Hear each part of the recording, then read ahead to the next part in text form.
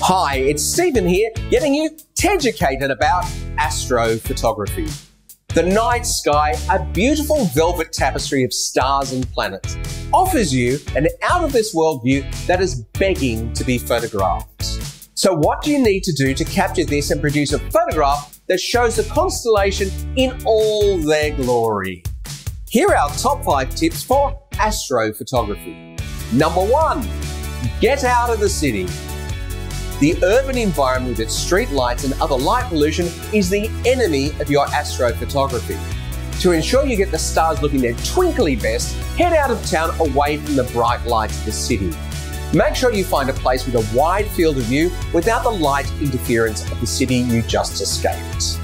Number two, use a tripod.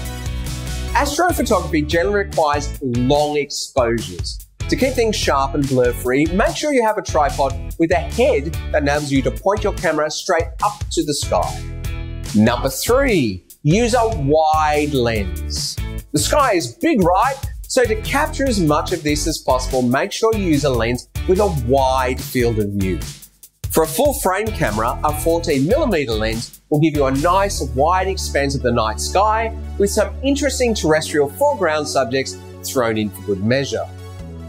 Number four, be careful of your ISO.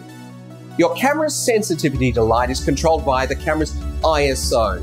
The higher the ISO, the greater the camera's sensitivity to light. But on the downside, the more noise will introduce into your image, and noise is the enemy of astrophotography.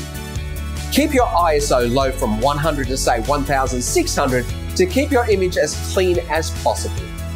Be aware the lower your ISO, the longer your exposure will be, so make sure you keep that tripod well planted.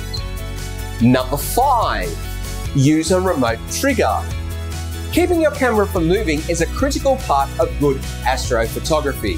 While a tripod will do a lot of this, using a remote trigger adds even more control. By using a remote trigger, you are making sure your camera doesn't move when you want to take your photograph. Even the slightest movement from clicking the shutter button can undo all your hard work. Astrophotography is a great way of getting out of the city and seeing and capturing the night sky in all its majesty. It can be quite challenging, but get it right and your image will look out of this world. Want to know more? Head to teds.com.au slash blog or keep updated by subscribing to TEDS on YouTube or following TEDS on Instagram at TEDS underscore cameras for all the latest education. You can also join Club TED to stay updated on the latest news and content, as well as be eligible for all Club TED only offers. See you soon!